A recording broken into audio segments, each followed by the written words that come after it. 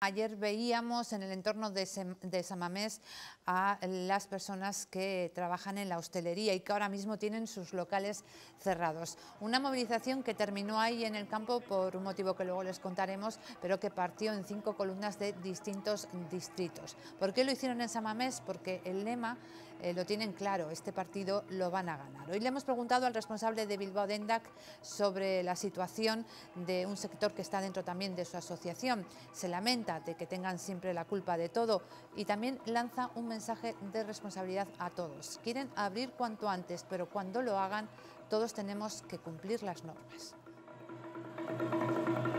La hostelería está, eh, primero, eh, un poco enfadada, con toda la razón, porque siempre pasa lo mismo. Primero se opta al cerrar y después vienen las ayudas, cuando el tema tenía que estar un poco pensado que vayan a la par.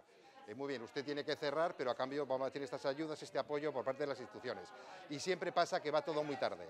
Y entonces la hostelería está enfadada. Eh, ayer tuvimos una manifestación en Bilbao y ahora el viernes que viene va a haber otra a las 12 del mediodía desde el Sagrado Corazón hasta el Ayuntamiento, también protestando un poquito por el tema de cómo se ha cerrado y cómo se está culpabilizando a un sector que realmente no tiene la culpa.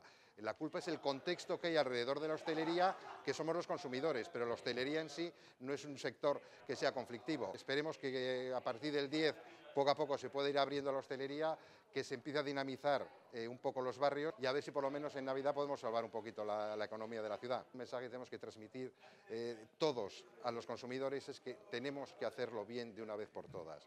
No podemos volver a equivocarnos y volver a caer en el error de tener que cerrar un sector vital para la ciudad y vital porque acompaña también a otros sectores como el comercio y la cultura, que son tres patas que van unidas y que, que ahora mismo pues estamos todos cojos y la ciudad lo está, por supuesto, lo está sufriendo enormemente.